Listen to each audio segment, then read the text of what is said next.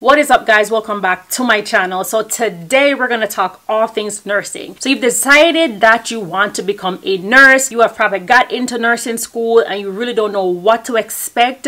Or even if you're finished nursing school and you want to start working as a nurse now, you do not know what to expect. So today I'm going to break it down for you. I'm going to be sharing with you guys what you typically should expect. I'm not saying that it's going to be the exact same thing that I went through and what a lot of some of my friends went through but this is probably 90% correct in how nursing school is and how that first role of a nurse is. So let's dive into it.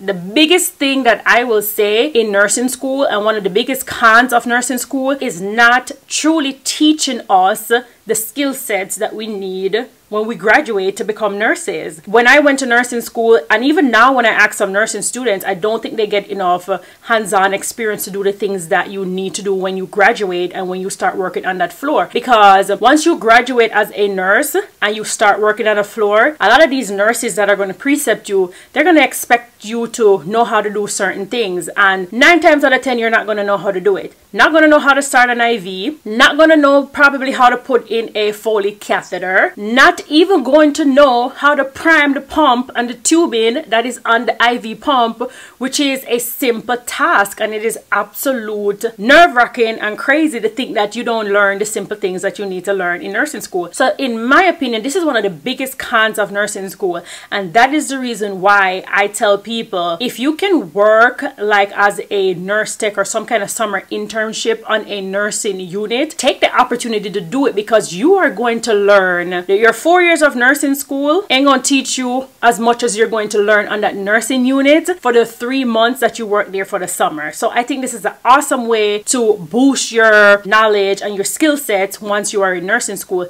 You are going to know how to write a mean APA paper though, and you're going to know how to write a good care plan, but you're not going to know how to start an IV. So to me, that is one of the biggest drawbacks of nursing school. This video is not to deter you from going to nursing school or anything. I'm just telling you some of the tips and some of the things that I experienced once I went to nursing school and once I started working. Nursing to me is, is it's a service job. It's almost like you're in the serving industry. And when patients come in and they're they're there and their family members are there, um, it is required or thought that that um, you're supposed to service them no matter what it is. No matter how ridiculous it is, they want you to service them. And if you don't, you're kind of looked at as if you're not compassionate. And some of the things that they ask you for sometimes have nothing to do with compassion. It's just how people are, how their nature are. So it is definitely, in my opinion, 100% a service job. So take that into consideration. Once you start working as a nurse on the floor and don't get frustrated with some of the ridiculousness that some of these patients and family members are going to expect from you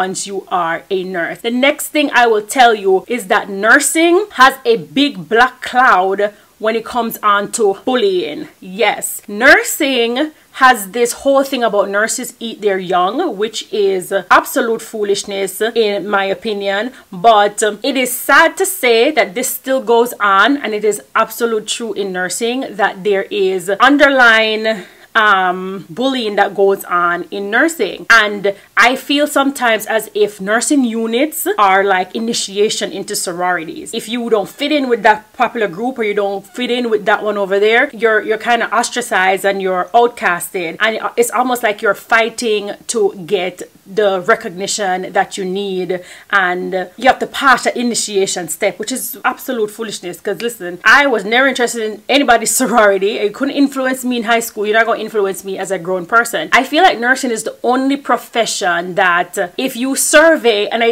I read the survey somewhere that um, 60% of nursing students say that they expect to be bullied when they become a nurse. Now in what profession people going into it thinking yeah i expect to be bullied and it is really not okay to to continue on with this foolishness. And it is something that still goes on into nursing. I do believe that not only new nurses get bullied i think nurses who probably have years of experience they move to different hospital different units. Other nurses in those areas also try to bully those people because they think that they don't know anything or they don't know what they know, whatever. This is just how nursing is. And I will definitely encourage you that if you're in a situation like this, you need to keep paper trail on this thing, speak to your manager because it's not okay. It's not okay for subtly, even subtly bullying somebody. Did it uh, happen to me when I was a new nurse? Well, they tried, but people who know me, know my personality, that wasn't to fly with me. So it happens and it will happen to the best of us. So make sure that you politely say and make your case like, please don't do that because they will continue and they will continue and they will continue to do it. And that is just the truth. The next thing I will tell you once you become a nurse, the pay is nothing what your sister friend told you. It's nothing what your cousin girlfriend told you. I feel like a lot of times nurses overinflate and exaggerate how much money they make. And that's why there's a notion out there that nurses make so much money. Once you tell somebody that you're a nurse, it's like dollar signs goes off in their head. And I do think that it's because some nurses really overinflate what they make. Maybe they are making that amount of money, but they're not telling you how they're making that amount of money. So I just want to say once you become a nurse and you are in that new nurse phase and you see that paycheck, don't be astonished because that's what it is.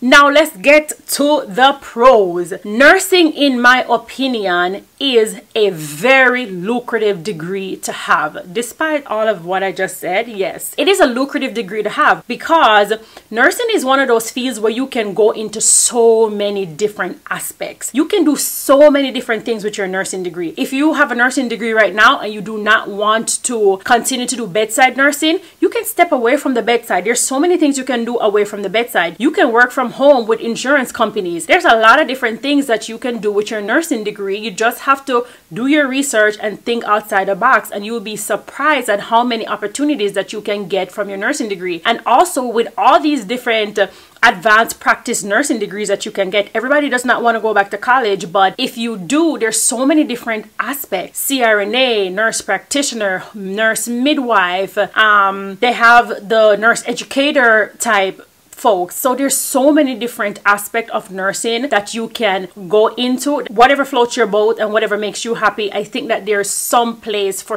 everyone once they get a nursing degree. The biggest pro, I think, of nursing is job security. I know people think that say that you should not go into nursing just because of job security, but honestly, who wants to take on college or student loan debt and then they come out and they can't find a job or that degree was foolishness? In my opinion, a nursing degree is job security because you will always and forever have a job unless you don't want to work. You might be doing something that you don't really want like in nursing at that moment, but there's always something for you to do. It's a lucrative degree because you will always have a job. In my opinion, you would definitely have a decent income. And that's why I think the whole aspect of it being a job security is a pro and not a con. So those are just a couple of things that I want to share with you guys. If you are interested in becoming a nurse, let me know in the comments down below where you are on your nursing journey. And don't forget to like, comment, and subscribe. And I'll catch you guys up in my next one. Bye guys.